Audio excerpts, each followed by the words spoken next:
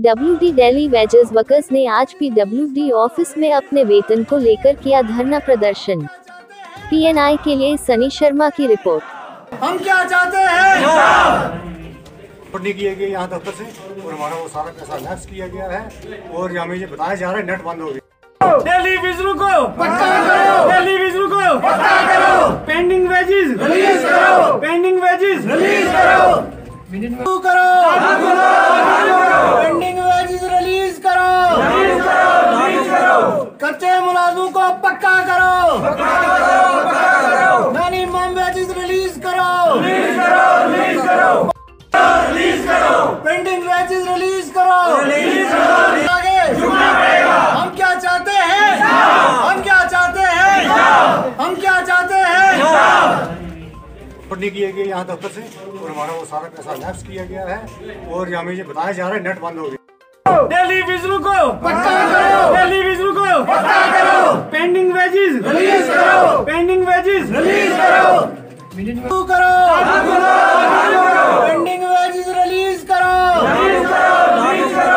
कच्चे को पक्का करो मिनिमम वेजेस रिलीज़ करो हम आपके आपके चैनल का शुक्रगुजार हैं कि आप हमारे पास आए, हमारी बात को सुना। सर, हमारी डिमांड ये है कि हमारी पेंडिंग वेजेस रह रही है ग्यारह महीने की। और ग्यारह महीने से हमें कह रहे थे कि आज देंगे, कल देंगे। अब इकतीस मार्च को जब पैसा आ गया तो दो महीने का पैसा आया और वो भी इन्होंने लप्स कर दिया। अब हमारी डिमांड ये है कि हमारा वो पैसा वापस किया जाए और हमें वो एक अप्रैल से पहले पहले मिलना चाहिए। अगर वो नहीं मिलेगा तो फिर ये है कि हम लंबा इसको लेंगे और हम अपने एहतजाज को जारी रखेंगे। अगर ये हमारी डिमांड मान लेते हैं और आगे के लिए ये हमारा दूसरा जो बजट में पैसा रखा है, वो मंगाएँ और अगर इन्होंने नहीं रखा है तो भी हमें पता लगना चाहिए। हम इनके मुलाजिम हैं हमें ये साइडों पे बेचते हैं हमसे काम लेते हैं और फिर हम काम करके अपनी छोटी सी उजरत मांगने के लिए यहाँ आते हैं। तो जो हमारा लेप्स पैसा है वो भी वापस करें और बकाया जात हमारी अदा करें। सर बताएँ जो आज डेली वेजर यहाँ प्रोटेस्ट पे बैठे हैं तो क्या डिमांड थी इनकी? इनका कहना है जो पैसा आया था वो लैप्स हो गया। तो क्या वजह रही सर? हमारे पास जो रिलीज़ आती है अट्ठाईस तारीख को रिलीज़ बेसिस पे चढ़ती है। अट्ठाईस तारीख के बाद उनतीस तारीख को हमारा नेटवर्किंग जो है वो बंद हो जाता है। वो बीच में एक घंटा सारा चला और लेकिन उसमें कोई काम नहीं हो पाया।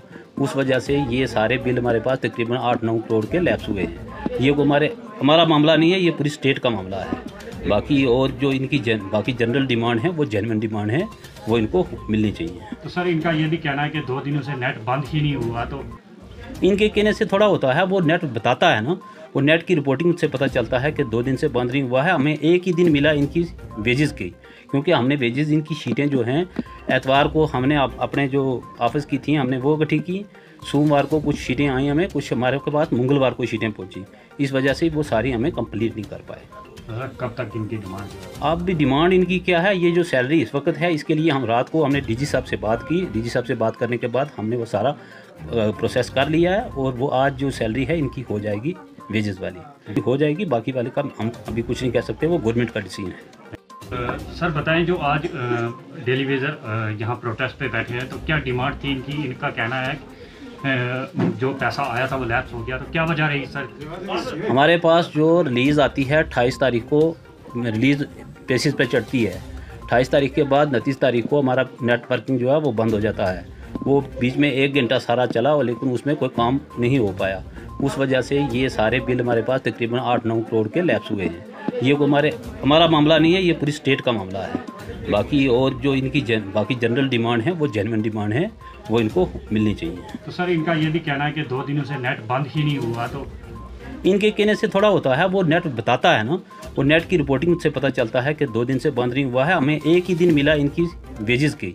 क्योंकि हमने वेजेस इनकी शीटें जो हैं एतवार को हमने अप, अपने जो ऑफ़िस की थी हमने वो इकट्ठी की। सोमवार को कुछ शीटें आई हमें कुछ हमारे के पास मंगलवार को शीटें पहुँची। इस वजह से वो सारी हमें कंप्लीट नहीं कर पाए। कब तक इनकी डिमांड अब भी डिमांड इनकी क्या है? ये जो सैलरी इस वक्त है इसके लिए हम रात को हमने डीजी साहब से बात की। डीजी साहब से बात करने के बाद हमने वो सारा प्रोसेस कर लिया है और वो आज जो सैलरी है इनकी हो जाएगी वेजेस वाली। हो जाएगी बाकी वाले का हम अभी कुछ नहीं कह सकते वो गवर्नमेंट का डिसीज़न है।